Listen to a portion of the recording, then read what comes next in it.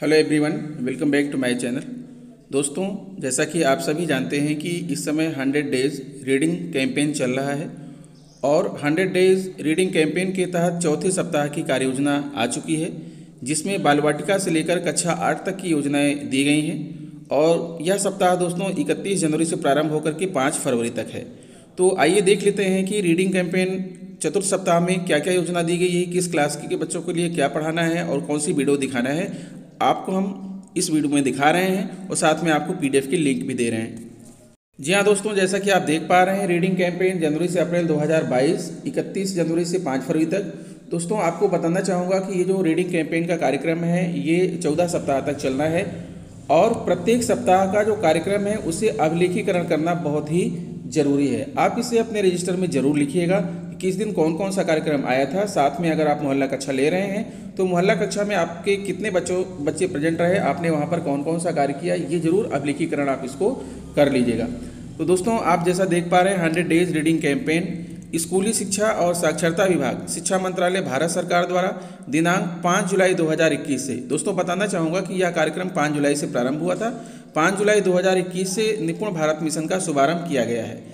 जिसके अंतर्गत वर्ष 2026-27 तक प्राथमिक कक्षाओं में सार्वभौमिक मूलभूत साक्षरता और संख्या ज्ञान प्राप्त करने तथा बाल वाटिका से कक्षा तीन तक सभी बच्चों में पढ़ने लिखने और संख्या ज्ञान में ग्रेड स्तर की अपेक्षित योग्यता प्राप्त करने का लक्ष्य निर्धारित किया गया है। इसी संदर्भ में स्कूली शिक्षा और साक्षरता विभाग शिक्षा मंत्रालय, भारत सरकार द्वारा एक महत्वपूर्ण पहल करते हुए हंड्रेड दिवसीय राष्ट्रव्यापी पठन अभियान रीडिंग कैंपेन की शुरुआत की गई है। इस पठन अभियान का उद्देश्य राष्ट्रीय स्तर पर सभी हितधारकों, जैसे बच्चों, शिक्षकों माता पिता समुदाय, प्रशासक आदि की भागीदारी सुनिश्चित करना है, जिससे कि प्रत्येक बच्चा पढ़ना सीखे और उसके बाद सीखने के लिए पढ़ सके। रीडिंग कैंपेन के इस सप्ताह में सबसे अच्छी कहानियाँ, रोचक गतिविधियों एवं पठन सामग्री के साथ अभिभावकों के लिए विशेष कैलेंडर भी संलग्न किया जा रहा है। नया संकल्प फिर से ठाने, आओ पढ़कर दुनिया को जाने। अभिभावकों के लिए संदेश दिया है दोस्तों, यहाँ पर रीडिंग कैंपेन में अभिभावकों की मुख्य भूमिका है।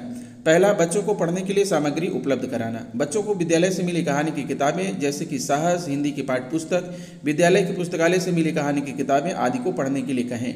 साथ ही हमारे घरों में बहुत सारी लिखित सामग्री उपलब्ध हैं, जैसे गाँव और घर की दीवारों पर लिखे संदेश, गैस चूल्हे पर कंपनी का नाम, बर्तनों पर खुदे परिवार के मुखिया का नाम, बाहों पर नाम टैटू, अखबार का पन्ना, खरीदारी की सूची टूथपेस्ट बॉक्स आदि। बच्चों को हर ऐसी अलग प्रकार की सामग्री को पढ़ने के लिए प्रेरित करें। दूसरा है प्रतिदिन कम से कम दो घंटे रीडिंग के लिए तय करना। अपनी सुविधा के अनुसार हर रोज़ दो घंटे तय करके सभी बच्चों के साथ में रीडिंग करने के लिए बिठाइए। इस समय में खुद भी उनके साथ जुड़ें, घर के बाकी सदस्यों को भी जोड़ें और हर पढ़ी गई कहानी, जानकारी आदि बच्चों से सभी के साथ साझा करने को कहें। दोस्तों, आपको बताना चाहूँगा कि निपुण भारत योजना के अंतर्गत ये जो रीडिंग कैंपेन तय किया गया है, ये भारत सरकार की, केंद्र सरकार की योजना है। और जो मिशन प्रेरणा अभी तक चल रहा था, उसका नाम अब बदल करके निपुण भारत कर दिया गया है, क्योंकि एक साथ यह पूरे भारत में लागू है और इसे हमें अपने बच्चों को शेयर ज़रूर करना है। तीसरा है, विद्यालय द्वारा साझा की गई साप्ताहिक सामग्री बच्चों को अवश्य दिखाएँ। साप्ताहिक गतिविधियों के लिंक एवं शैक्षणिक सामग्री प्रत्येक सोमवार को आपकी विद्यालय के शिक्षक द्वारा आपसे साझा की जाएगी। इन्हें बच्चों को दिखाएँ, गतिविधियाँ करते हुए बच्चों के वीडियो या फ़ोटो लेकर शिक्षकों के साथ साझा करें। दोस्तों, इसके साथ बताना चाहूँगा कि आप अपने व्हाट्सएप ग्रुप पर तो ये साझा करेंगे ही, साथ में अभिभावकों को प्रेरित करेंगे कि वो बच्चों को मोबाइल से ये वीडियो दिखाएँ, कहानियाँ दिखाएँ। और अगर आप मोहल्ला कक्षाओं में बच्चे आ रहे हैं तो प्रेरणा साथी की मदद से मोबाइल के माध्यम से बच्चों को यह वीडियो दिखाइए और कहानियाँ पढ़ने के लिए प्रेरित कीजिए। साथ ही दोस्तों जो आपका रीड लॉन्ग ऐप है, वहाँ पर बहुत सारी कहानियाँ मौजूद है। वहाँ से बच्चों को पढ़वाइए, सहज पुस्तिका से पढ़वाइए और जो आपका प्रेरणा लक्ष्य ऐप है, वहाँ से बच्चों का मूल्यांकन ज़रूर कर लीजिएगा। और ये सारी बातें आप अभिलेखीकरण करते हुए चलेंगे। देखिए, यहाँ पर बाल वाटिका के बच्चों हुई गतिविधियाँ हैं। सोमवार को कहानी बुलबुलों का राज। इस वीडियो वीडियो का लिंक दिया है। मंगलवार को सोमवार की कविता वीडियो का लिंक है। बुधवार को कहानी उल्लू है क्या? गुरुवार को कविता, लकड़ी की काठी, शुक्रवार को कहानी बिल्ली के बच्चे और शनिवार को बारिश की कविता। इन सभी के वीडियोस दिए गए हैं और ये सारी वीडियोस आप बच्चों को शेयर करेंगे, साथ में मोहल्ला क्लास में दिखाएँगे भी। यहाँ आप देख पा रहे हैं कक्षा एक और दो के बच्चों हित गतिविधियाँ दी गई हैं। सोमवार को सबसे खास हांडी कहानी है और कहानी सोजा उल्लू, ये वीडियो है। मंगलवार को कहानी अनोखा घोसला, ये रीड लॉन्ग ऐप पर आपको मिलेगी और कहानी पतंग की करामात, ये आपको वीडियो देखने को मिलेगी। दोस्तों, सबसे पहले आप बच्चों को दिखाने के पहले आप खुद ये सारी वीडियोस को देख लीजिएगा, तब आपको क्लियर हो जाएगा कि इस वीडियो में क्या बताया गया है और कैसे हमें बच्चों को इसको समझाना है। मंगलवार को, बुधवार को उल्लू है क्या? वीडियो है और कहानी आसमान गिरा, वीडियो है। फिर गुरुवार को कहानी और चीकू भी, ये भी वीडियो है। कहानी बिल्ली के तीन बच्चे, ये भी वीडियो है। फिर आप शुक्रवार को देखेंगे घमंडी आम, ये कहानी है। कहानी भालू शहर घूमने गया, ये वीडियो है, और हाथी राजा की कविता, ये वीडियो आप देखेंगे, पतंग की कविता वीडियो देख पाएँगे। तो पहले आप इसको खुद देखिएगा दोस्तों, देखने के बाद बच्चों को भी दिखाइएगा। साथ में फिर कक्षा तीन, चार और पाँच के बच्चों के लिए गतिविधियाँ यहाँ पर दी गई हैं। सोमवार को है टू माइस कहानी है, और कहानी खियाली पुलाव, ये वीडियो है।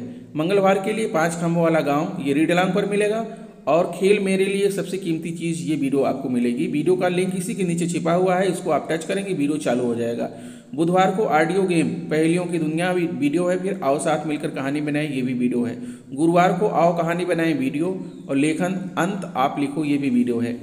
शुक्रवार को कहाँ गई गेंद, कहानी है। चाँद पर जाने की कहानी वीडियो है। और शनिवार को जादुई बीज की कहानी वीडियो और गेंद और बल्ले की कहानी वीडियो है। फिर कक्षा छः सात, आठ के लिए भी गतिविधियाँ यहाँ पर दी गई हैं। सोमवार को कक्षा छः सात, आठ के लिए पीपल का पेड़ कहानी है। मंगलवार को the auto that few Read Along है। रीडलांग ऐप पर मिलेगा ये। बुधवार को किंग ऑफ़ ट्रीज ये कहानी है। गुरुवार को सेविंग टर्टल्स रीडलांग ऐप पर मिलेगा। शुक्रवार को द हंग्री आंट ये कहानी है। और शनिवार को who responsible read along app पर आपको मिलेगा। तो इस तरह से आप बच्चों के बीच ये सारी चीज़ें शेयर करेंगे।